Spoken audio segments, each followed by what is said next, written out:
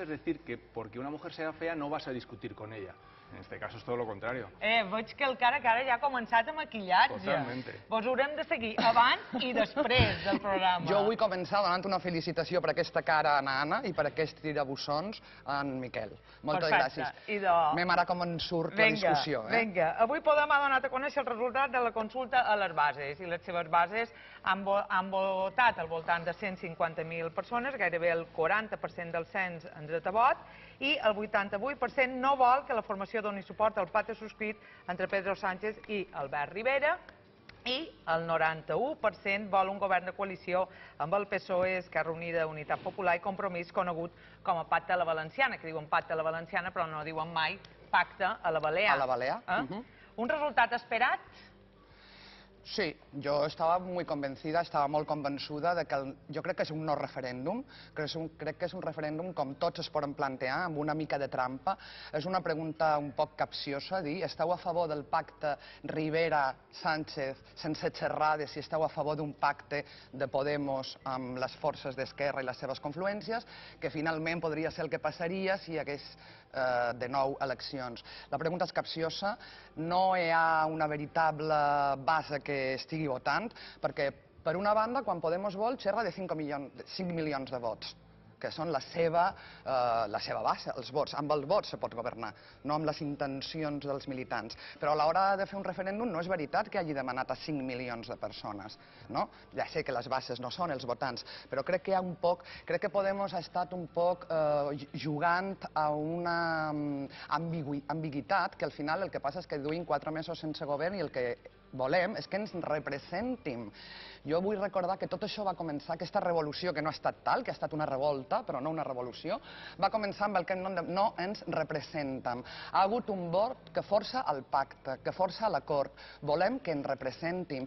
No, jo no vull una gran coalició, jo no vull tornar a veure Rajoy a la presidència i la responsabilitat perquè això no passi no és fer consultes a les bases després del fracàs.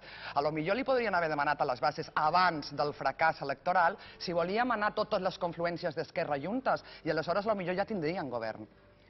Estoy de acuerdo en una parte con, con ah, Marisol y con- en otra no. En la que no estoy de acuerdo es que a mí sí me ha sorprendido un poco el 80, 88%, yo pensé que iba a ser el 100%, eh, porque en lo que sí estoy de acuerdo con Marisol es que la pregunta es de trileros. Es decir, preguntar a las bases, ¿quiere un gobierno basado en el pacto Rivera-Sánchez? Es decir, ¿quiere usted un gobierno basado en un pacto que no es el mío? ¿Qué van a decir las bases? Obviamente van a decir que no. Además, mm, empíricamente se ha demostrado las bases o los afiliados de un partido suelen ser eh, más radicales que el, grueso de los votantes, el grueso de esos 5 millones de, votantes que ha tenido Podemos que tú, que mencionabas. Por lo tanto, claro, preguntar a las bases si van a apoyar un, un pacto o que se negocie un pacto sobre los que ellos no han estado, es evidente que la respuesta era no. ¿Qué demuestra eso?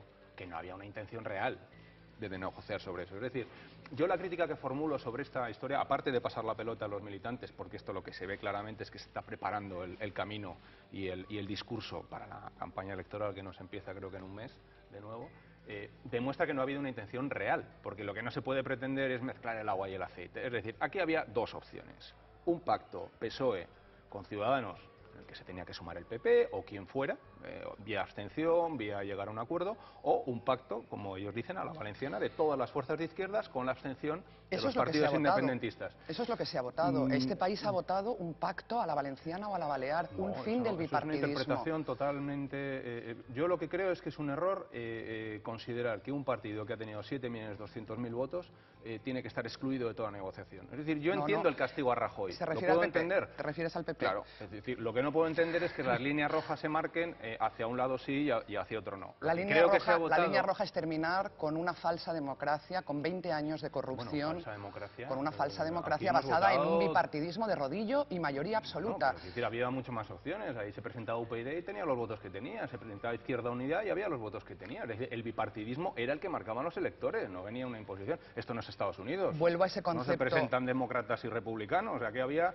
7, 8, 10, 15, 20 partidos. Afortunadamente no es Estados Unidos y tenemos una democracia garantiza algunos, algunos derechos sociales Con- que en Estados Unidos no hay mejor. y que con el Partido Popular Per cert, involucionaríamos. Que, deixi'm posar damunt la taula el nom del ministre Soria vinculat als papers de Panamà. Mm. No se'n recordava, eh? el de Rodrigo Rato, i dic això, que avui és també notícia, que nous escàndols minen, ara que parlàvem de les possibilitats del PP, dificulten encara més la gran coalició. Clar, és que és això. Qui... Yo, yo- yo creo que eso, si hubiese habido en algún momento determinado una posibilidad real de esa gran coalición, creo que esto hubiese sido un hándicap y un inconveniente importante. En estos momentos yo entiendo que es una cosa que no eh, influye en absoluto. Yo es una posibilidad que dado por descartada. Pedro Sánchez ha sido contundente. No es que no hayan llegado a un acuerdo, es que no ha querido ni intentarlo. Pero bueno. El problema no era Rajoy, el problema era eh, una cuestión ya de, raya- de línea roja, como le ha dicho. No es no, que parte del no no ha entendido. Bueno, pues eso demuestra una voluntad de negociación. No sé, jo... Lo digo, lo digo por una cosa, Marisol. Mira, yo, yo creo que en estas, en estas elecciones sí ha habido un cambio